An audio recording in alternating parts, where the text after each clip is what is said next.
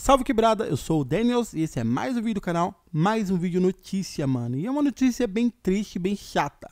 E mais uma vez sobre o Rap Festival.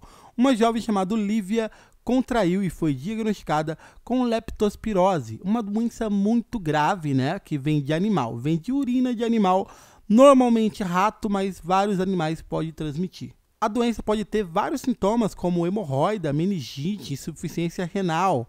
Então é uma doença grave que pode levar à morte se não houver um tratamento. Então isso é algo gravíssimo.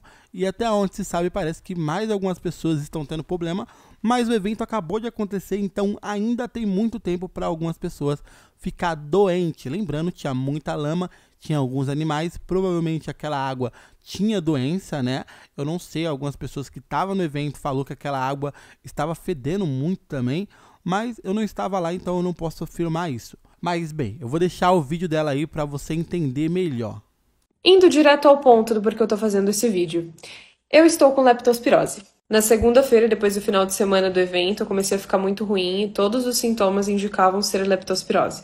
Vi no Twitter, não sei se é verídico, mas vi que três pessoas já tinham caso confirmado de leptospirose, então eu comecei a ficar mais desconfiada ainda. Foi então que hoje, depois de dois dias que eu passei no hospital, minha médica falou que minhas células de defesa estão extremamente abaixo e mais outras questões que eu não me recordo. E isso era muito compatível com a leptospirose. Então agora eu vou tomar antibiótico por dois dias. Caso eu não fique boa, eu vou ficar internada no hospital para fazer um tratamento realmente focado em leptospirose. Que a minha indignação, tristeza e psicológico está extremamente abalado por conta disso é fato. Eu, na verdade, que não quero nem precisar colocar toda a minha insatisfação e todo o meu arrependimento referente ao evento, porque eu acho que já é de se imaginar. Foi um caos para ir embora. Assim que eu e minhas amigas decidimos que a gente ia, minha amiga começou a ter ataque de pânico. Tive que me virar nos 30 junto com uma outra amiga que ainda estava ok. E graças a Deus a gente achou um táxi que aceitou 300 reais para levar a gente. E foi isso, gente. Um pesadelo. E eu vou sim processar o Rap Festival. E pô, família, eu não sei nem o que falar sobre isso, mano. Que situação chata. Esse evento, né, tem que devolver o dinheiro de todas as pessoas, até as que foram lá no primeiro dia. Eu vi alguns comentários né, no meu próprio vídeo aqui falando que não, mas Daniels, eles vão devolver, eles vão tomar em prejuízo. É injusto as pessoas que foi querer o dinheiro de volta. Não é injusto. Esse evento foi extremamente insalubre tem que devolver o dinheiro de todo mundo. E eu digo mais já que em 2024, quando esse evento voltar, e se ele não devolver o dinheiro das pessoas e não provar que mudou, saca? E vir rapper anunciar que vai estar nesse evento, tenho certeza que eu vou estar aqui para me posicionar contra esse rapper que for.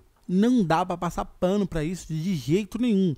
Tem que devolver o dinheiro de todo mundo e ainda é pouco. As pessoas que foram elas sofreram pra caramba, saca?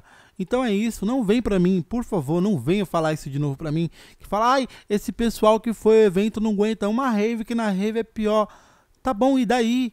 E olha que rave nem é pior do que isso, não. O pessoal tá criando no imaginário dele que todas as raves tem lama e os caralho, e ainda assim não é aquela lama, eu tenho certeza disso. Entendeu? Então é isso, família. Comente sobre isso aí. Nossa, que tra... mano, que triste isso. Mas é isso, processo neles, processo neles. Não tenho dó de empresa gananciosa que colocou pessoas em risco por ganância. Não tenho dó. Processa, quem tem que todo mundo pegar o dinheiro, se quebrar, quebrou, se falir, bom. É isso. É isso, família. Se inscreve aí. Nós está quase chegando a 100 mil inscritos. Dá uma força aí. Falta só milzinho para nós chegar.